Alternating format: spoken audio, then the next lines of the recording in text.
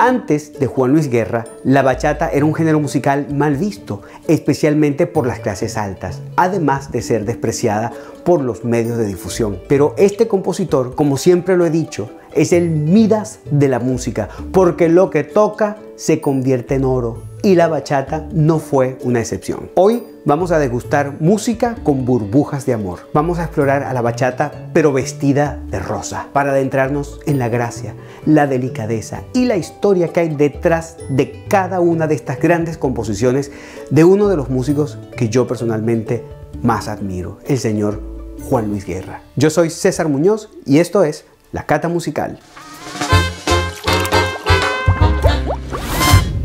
Una de las cosas cruciales para el éxito en una carrera artística es lograr la identidad. Y muchas veces esa identidad no es más que ser lo que uno verdaderamente es. Juan Luis Guerra, como muchos músicos en su etapa de formación, fue seducido por el sonido del jazz, por los solos instrumentales. Y eso en algún momento fue su foco principal, especialmente en los años en que estudió, en la que también fue mi universidad y sin duda uno de los lugares más maravillosos que hay para estudiar música, el Berklee College of Music. De hecho, un día cuando yo era estudiante y trabajaba en la biblioteca, me emocioné muchísimo porque en un libro con las transcripciones del bajista Charles Mingus conseguí la tarjeta de registro firmada en 1982 por el joven estudiante Juan Luis Guerra. Ahora, volviendo al tema de la identidad. Como decía, en esa época universitaria, Juan Luis Guerra estaba muy enfocado en tocar jazz con su guitarra. Pero un día, de forma muy casual y sin ningún tipo de pretensión, tomó un guiro y empezó a hacer un ritmo. Y ahí fue cuando desencajó de asombro a sus compañeros que le empezaron a preguntar, pero ¿cómo es que tú haces eso? ¿Qué es eso que tú estás tocando allí? Y él no entendía qué era lo que les llamaba tanto la atención, porque lo veía como la cosa más sencilla y cotidiana del mundo. Esto, no, bueno, un ritmito tradicional de mi país, como quien dice, nada del otro mundo. Pero inmediatamente cayó en cuenta que lo que a él le fluía de forma natural y espontánea era una maravilla exótica y fascinante para los demás. Quizás en ese instante no dimensionó lo crucial que sería esto para su carrera, pero sí comenzó a prestarle atención. Entonces, eso poco a poco le fue cambiando la brújula. Y así, cuando graba su primer disco, Soplando, vemos cómo allí conviven los anhelos jazzísticos con la tradición de su país. Él, por ejemplo, hace una versión en español del estándar de jazz Green Dolphin Street. Pero también incluye merengues clásicos como Feliciana y Loreta. Eso sí, cargado de arreglos y armonías vocales bien sofisticadas y bien elaboradas, es decir, sus raíces con acento jazzístico. Todos esos elementos van a ir madurando y aprendiendo a convivir. Y además de la tradición dominicana y de su amor por el jazz, de forma más específica, están, por ejemplo, las memorias del programa de bachata que ponía su tío en la radio cuando lo llevaba al colegio. Y por supuesto, una de sus influencias más grandes, los Beatles. Porque tocando la música de los Beatles fue que él aprendió a tocar guitarra y aprendiéndose de memoria sus coros fue que él aprendió a armonizar las voces. Entonces, cuando Juan Luis Guerra decide hacer bachata, todo esto se va a conjugar y va a estallar en un fenómeno que va a cambiar la historia de la bachata para siempre. Por un lado, porque con su conocimiento, su talento y su buen gusto la va a vestir de gala y la va a elevar. Y por otro lado, porque por primera vez la va a sacar a pasear por el mundo, porque hasta ese momento, fuera de la República Dominicana, nadie sabía lo que era una bachata. Eso era algo que se escuchaba ya y se bailaba en los bares y en los burdeles. Entonces, ya después de haber logrado su primer gran éxito con Ojalá que llueva café, viene con una nueva producción en 1991 que se va a llamar Bachata Rosa. Es rosa porque ya no va a ser más música de amargue, como dicen para referirse a esa bachata original con guitarras de sonidos estridentes y de letras llenas de dolor. Guerra va a dulcificar todo esto para darle paso al romanticismo, a la sensualidad y a la poesía. Y para entender esto mucho mejor, vamos ahora a deconstruir algunos extractos de estas canciones.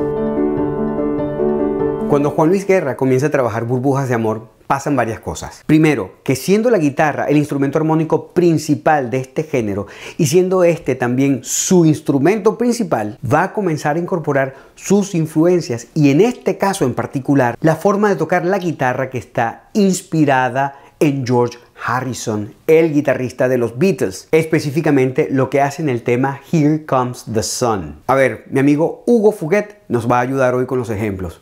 Hugo, ¿cómo es que dice la guitarra en Here Comes the Sun?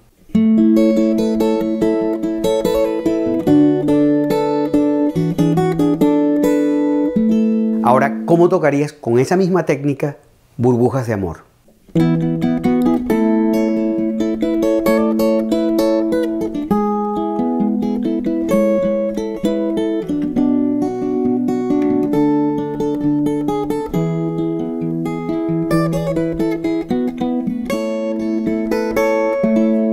Que sea lo mismo, sino que es la misma forma de abordar el acompañamiento. Ahora, si quisiéramos hacer el experimento como para comprobar ese parentesco, podríamos hacer el mashup, que es tocar las dos canciones al mismo tiempo.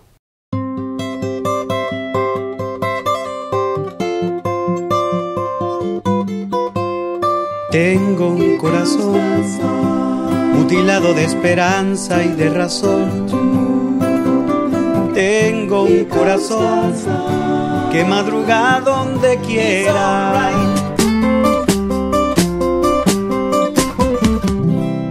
Muchas gracias Hugo y ya vamos a hacer una más. Otro elemento bitleniano que incorpora Juan Luis Guerra es en la forma de cantar los coros, porque hasta ese momento en la bachata los coros no llevaban armonías. Entonces, nuevamente, si los Beatles dicen Here comes the sun. Juan Luis responde. Y este proceso de sofisticación no es solamente musical, sino que también es poético. Esa imagen del pez pegando la nariz en la pecera viene de un escritor argentino llamado Julio Cortázar. Uno de sus personajes del libro Rayuela, llamado La Maga, dice, ¿Quién sabe? A mí me parece que los peces ya no quieren salir de la pecera. Casi nunca tocan el vidrio con la nariz. Entonces, otro personaje le dice que probablemente si le quitaran el vidrio, tampoco se acercarían, porque están acostumbrados a vivir encerrados y que a nosotros, los seres humanos, nos pasa lo mismo en el amor. Todos retrocedemos porque tenemos miedo a frotar la nariz con algo desagradable y que por eso sería hermoso ver a los peces pasar al aire libre e irse como palomas.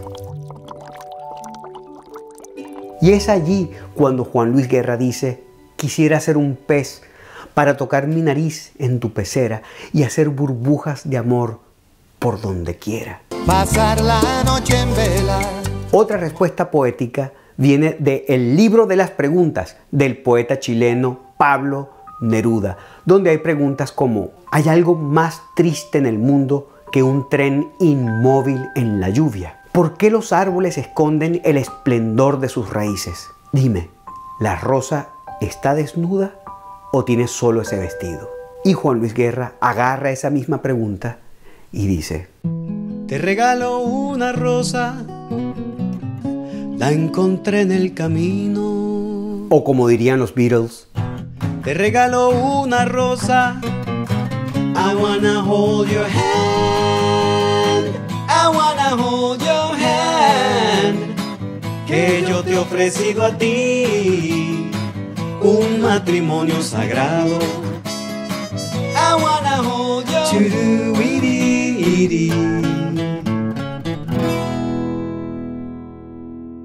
¿Qué quiere decir todo esto? Que Juan Luis Guerra reconociendo la inevitabilidad de sus raíces, pero abonándolas con los aprendizajes de su vida, hizo que germinara un género que estaba escondido y lo convirtió en un árbol del tamaño del planeta. Porque ahora la bachata no solamente la conocen en todas partes, sino que también está reconocida por la UNESCO como Patrimonio Inmaterial de la Humanidad. Y este es solamente uno de los tantos logros de este compositor.